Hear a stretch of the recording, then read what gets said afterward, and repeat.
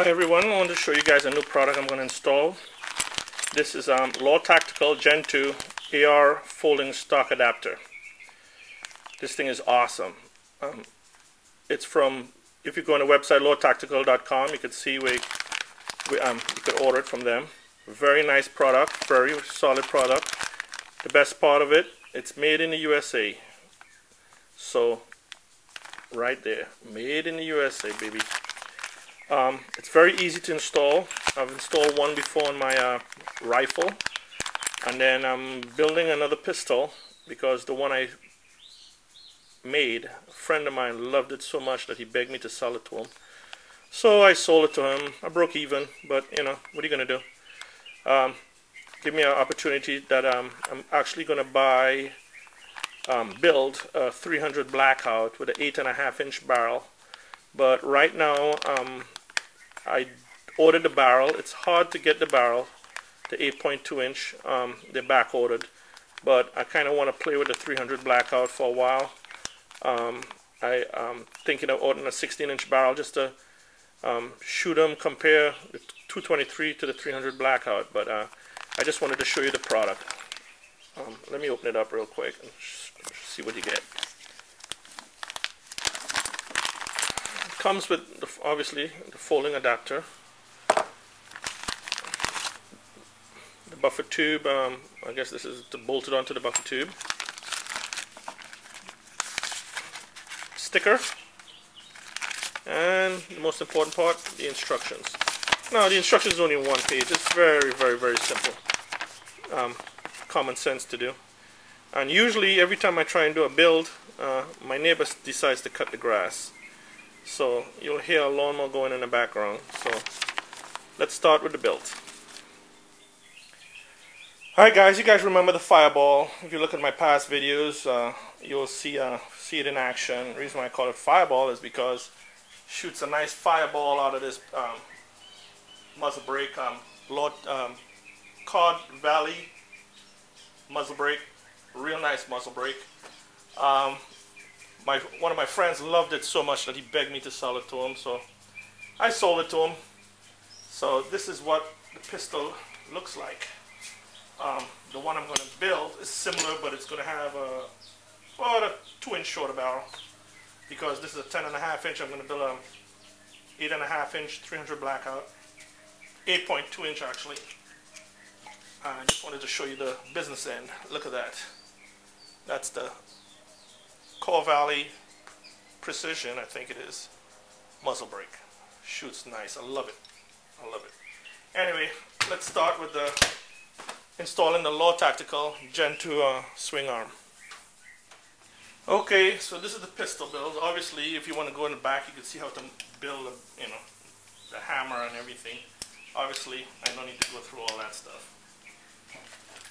So, you're doing the build, first you want to do is take apart this section right here because this section obviously bolts on here but spring loaded but you need to get the buffer mount through here.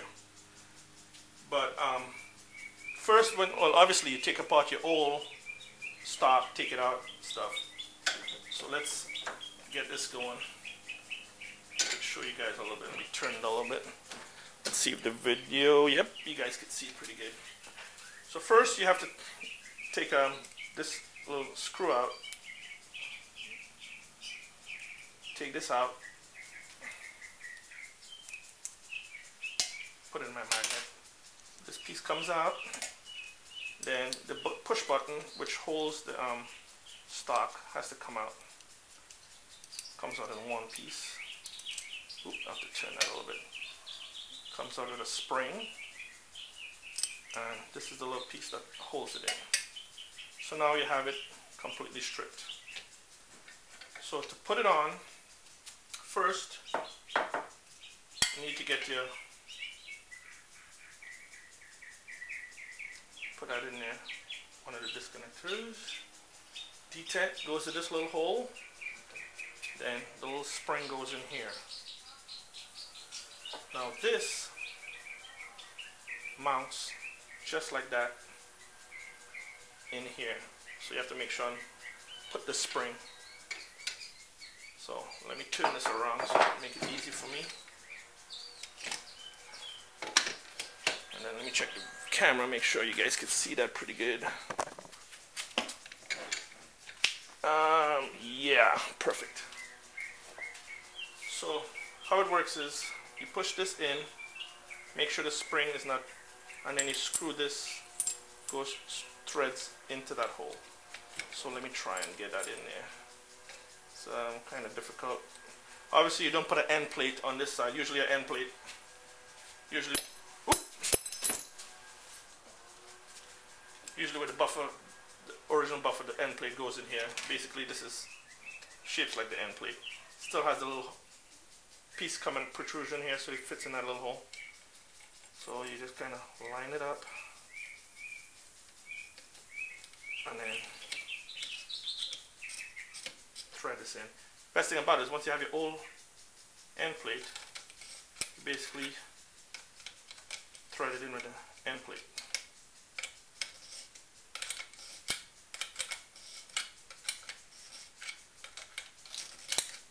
Once you fit it in, might be a good idea to put some Loctite on there.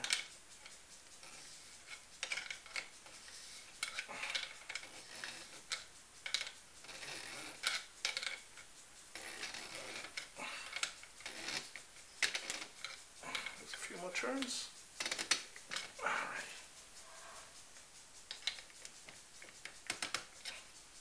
Nice and solid. A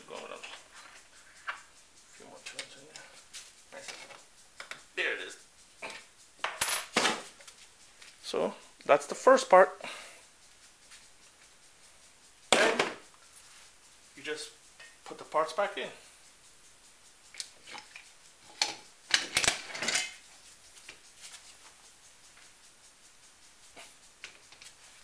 Slide this piece back in.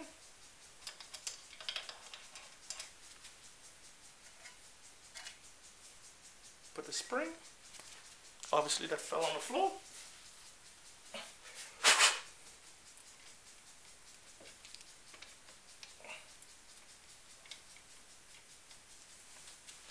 Then this piece slides in that groove. Everything fits so tight and uh, nice. It's everything is perfectly cut to fit.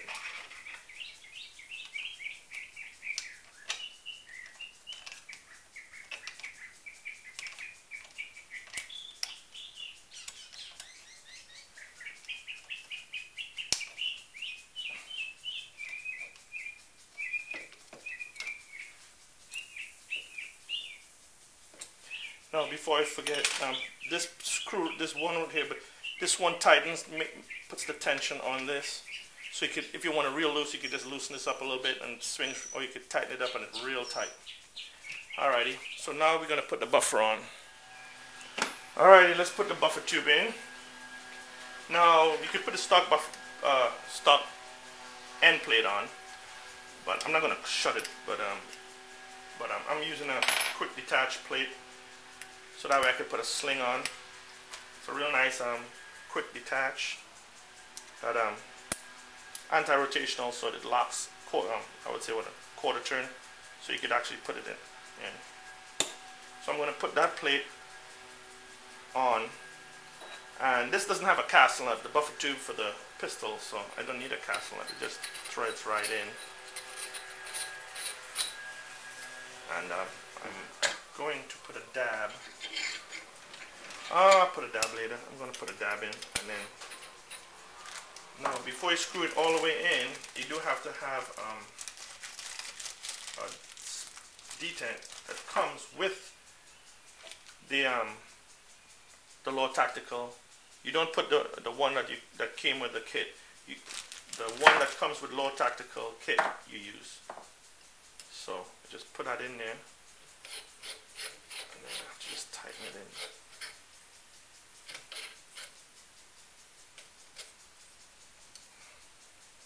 And then so now it locks. Now this is obviously a pistol buffer tube, so you don't need now.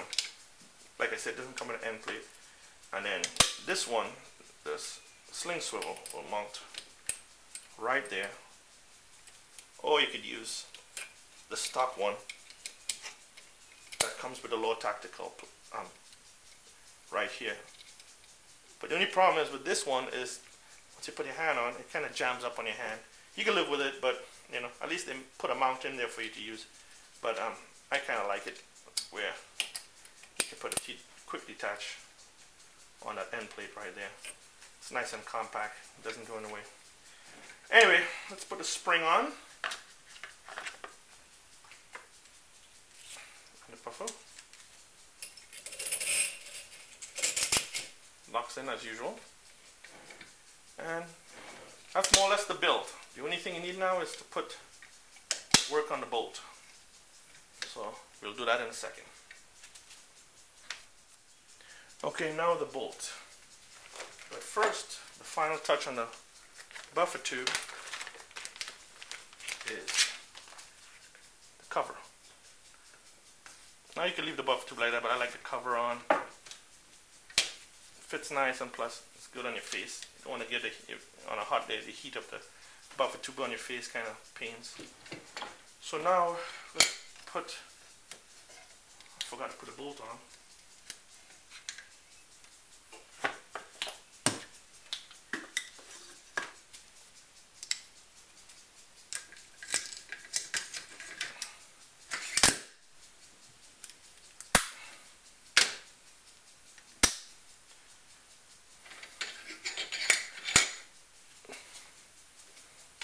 let me change the angle here so it'll be easier for you guys to see. So now with the buffer tube obviously the bolt is in there. With this little space you need an extension. So this is the bolt extension. Fits right in. Get a screwdriver.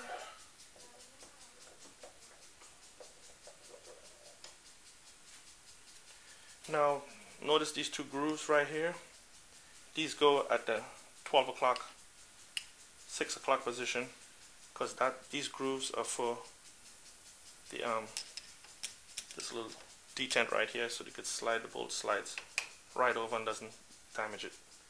So basically you do is just push it in.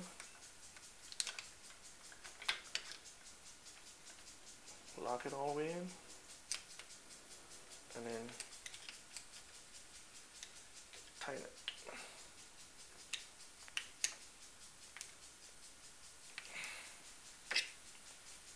And there you have it.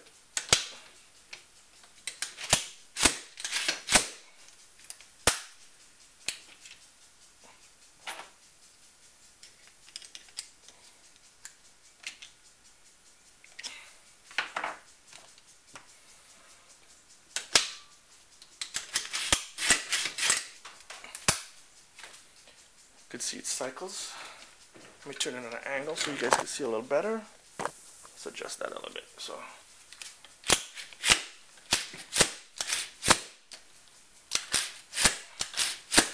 Cycles nicely. Now, the only thing is, with because of the bolt extension sticks out, you cannot use, you cannot open like how you usually open, where you push the pin and the upper receiver comes apart. How you have to do it is you have to take both pins out, raise the front, and then slide it out.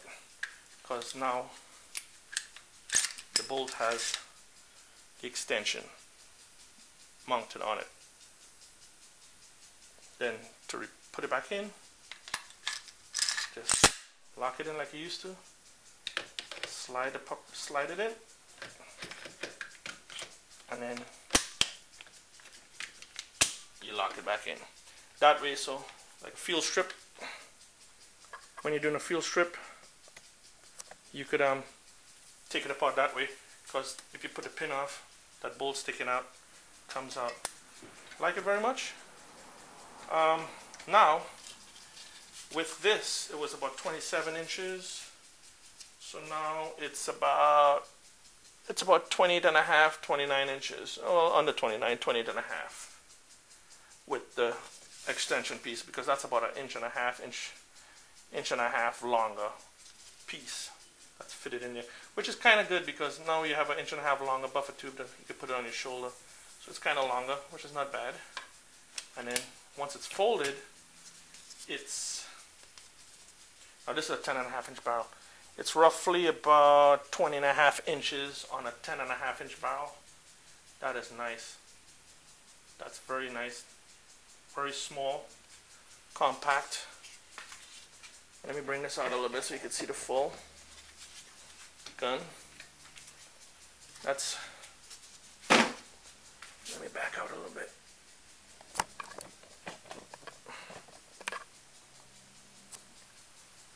That's perfect.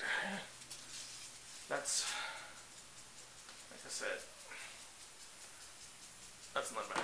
21 inches. And funny enough, I have um,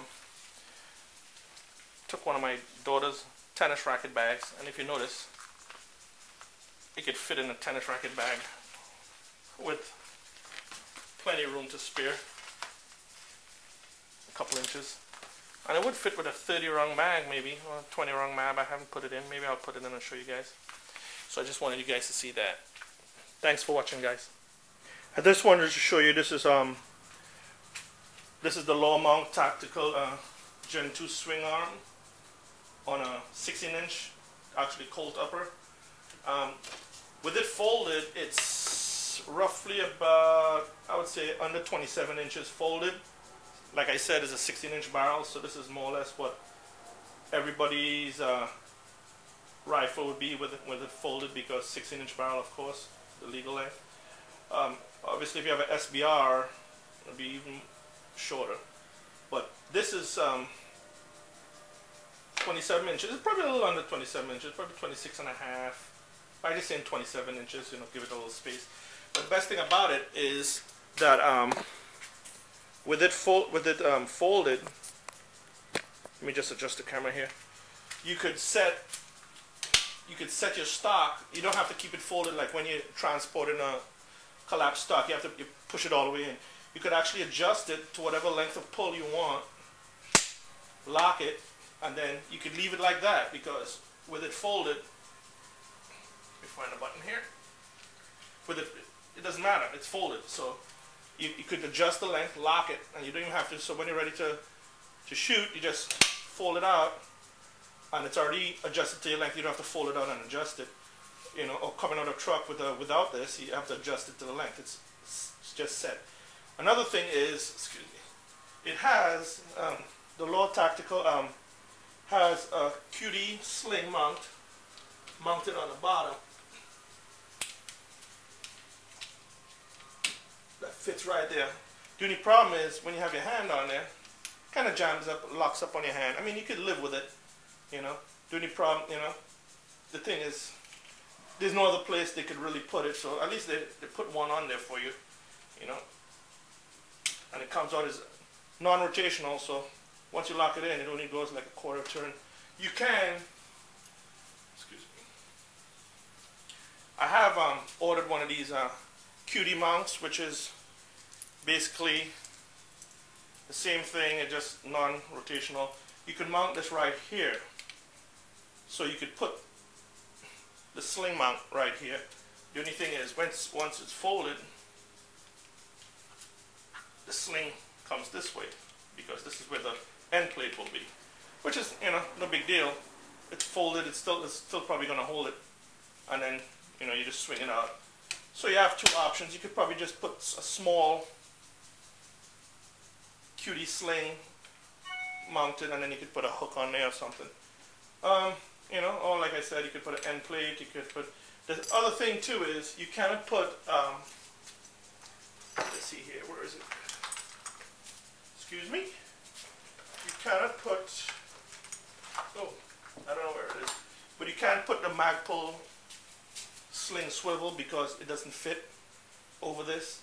So you can't put a Magpul. You can put this one from Botach. This is a pretty nice one. You can put this as an end plate. Comes right here and then you could put a quick detach sling, a Magpul sling or whatever with a hook. But the Magpul one doesn't fit. This is, um, you could get this at Botach. I think it's like $19. Um, they have a 10% off now, by the way, so you get it for like, you know, 17 bucks. So I think um, I think it's roughly about pretty nice, uh, hefty uh, sling end plate mount, pretty thick. You could just mount it right there, back it up, put it, take that plate out. But that's about it. I just wanted to show you um, how it looks on a on a 16 inch barrel um, rifle. Real nice. Now, man, I'm gonna put this on every rifle I got. It's a uh, the price is okay, a good price, but just to make it so small and compact, you lock your stock compact, like I said, 20, 26 inches, 26 and a half, 27 inches. It's not bad. It's much smaller than you could get. That's the smallest you could get, I guess. But I mean, can't go any smaller than that. Just remember, you have to lock your stock before you can shoot. That's the only drawback, but you, you understand because the ball has to go into the buffer, so obviously you can't shoot with it folded. But it's a real nice, um, real nice. It adds on about, roughly, it adds on about, um, I'll say about an inch and three quarter um, to your buffer. So when you adjust your buffer, you know, wherever you adjust your buffer, you just have to bring it like maybe one, one um, in because it has an extra inch and a half. So if you had it adjusted there, you just have to push it in one more. So basically, you know, so actually you have a longer length of pull, about an inch and a quarter. So if a, for a tall person, you have an inch and a quarter, inch and three quarter longer pull. But being as adjustable, you could just adjust it one click in and you're all set. Now I just want to show you guys my tennis racket my new tennis racket. Fits nicely. Actually have a lot of room to spare. Now I'm just doing this for kicks because I just happen to have my daughter's tennis racket bag. 20 rung mag. I fit it in there, it's pretty tight with a 30 rung mag, but I, I have like two or three 20 rung mags that this is my truck gun. I do a lot of traveling, and I keep.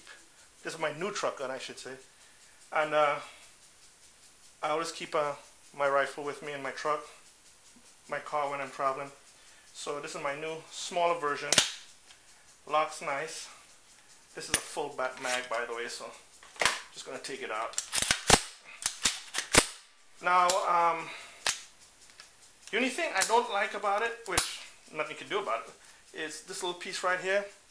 That's um, where the hinge is. It's not a bad because, you know, it fits nicely. The only thing is it does interfere when you're charging the handle. My finger hits this piece.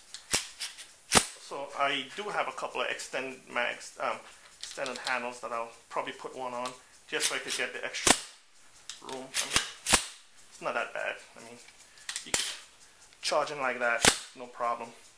But other than that, now I have the sling swivel and mounts that came with this and I put an end plate swing swivel, swivel and nice uh, with a 10 and a half inch barrel now the, the blackout is going to have um, 8.2 so just roughly about 2 inches shorter so it'll probably be around, like right there so that's even an extra 2 inches shorter and fits nicely Thought you guys might like it. Works real good. Thanks for watching, guys. Please uh, subscribe, and um, I'll have more videos to come. Thanks.